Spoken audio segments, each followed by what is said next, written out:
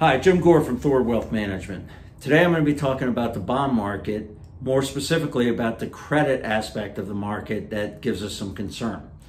This is a proprietary analysis here at Thor that we look at if it's a good time to be in credit or not. Negative three is the worst, and that means you don't want to have any credit risk in your portfolio. Three is a time that you want to take on credit risk. Now, what is credit risk? If you will, think of high yield junk bonds, if you will, corporations that you may not be able to get back the money that you lent them in a bond because a company could go bankrupt. That's taking risk on the entity being able to pay you back. That is what credit risk is. Um, and conversely, treasuries are deemed to be no credit risk because it's backed by full faith and credit of the United States government. Um, so right now, our indicators are showing that you want to be very careful in putting high yield bonds into your portfolio.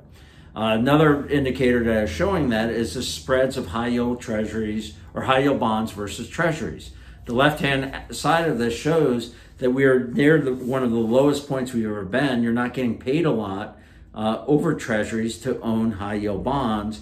And as a matter of fact, the two other times that was a little bit lower were 1998, 1999, and 2007, 2008 which were very bad time to own high yield bonds because the spread widened, which means that you lost money, especially compared to treasuries. And this time on the right hand part of this is showing that we're in the fifth percentile. Um, so this only happens 5% of the time that it gets as low. This is not a time that you want to load up on high yield bonds. And a lot of people don't look at their fixed income portfolio to understand the risk that they're taking. Something else that concerns us about this is if you look at what happened, you know, I mentioned 2008 and 2009, that the spread was very narrow, but the bonds themselves were a lot different than where they are today. And if you look at this chart, the blue line is high yield bonds, and there's what is known as leverage loans, bank loans that are high yield companies that have taken out a bank loan and then the bank resells those loans. And that part of the market has grown. But the yellow is really what I want line that I want to talk about, which is covenant light uh, bonds. Basically, what this is saying is that 80% of the bonds right outstanding right now have no covenants, which basically means that there's really very little protection for you as a bondholder. A covenant prevents the company from putting on too much debt on their books. They have to prepay the debt or they have to keep their debt to equity ratio in line.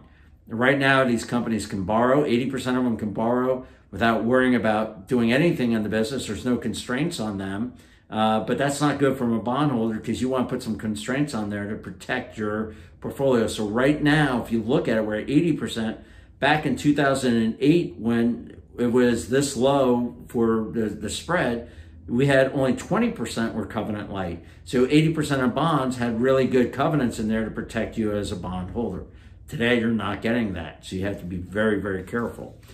So we've been at this a long time. Uh, we, we can tell you that the fixed income market is a lot more difficult to invest in than the equity market.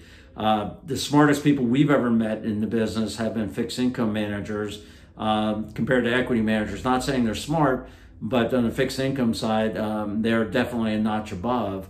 And what we're hearing right now is that this is one of the hardest markets to do credit work.